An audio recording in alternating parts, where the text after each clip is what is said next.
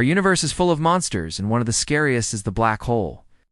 These cosmic entities are so bizarre that they defy easy explanation. And yet they're probably not what you think they are. Here's what black holes have in common with unicorns. Neither of them are real. Well, maybe that's a bit too far. We do have evidence that strongly suggests black holes exist, but we've never seen one for certain. Black holes are best described as regions of space with gravity so strong that not even light can escape their grasp.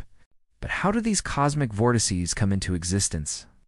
The leading theory is that they form when massive stars collapse at the end of their lives. If a star is massive enough, around 20 or 30 times the mass of our Sun, when it collapses, it will literally crush itself.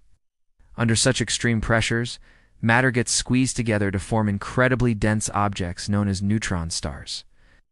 If the star is even more massive, say 50 or 100 times the mass of our Sun, then not even neutron degeneracy pressure can resist the pull of gravity and a black hole will form.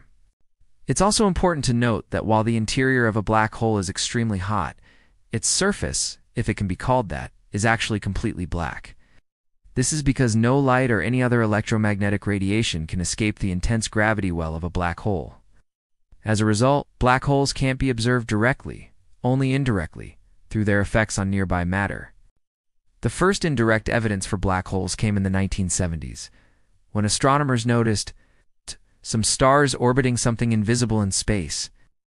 They could see the stars wobbling as they passed in front of the invisible object, but they couldn't see the object itself, since they knew it had a very large mass, based on its gravitational effects, but it was invisible.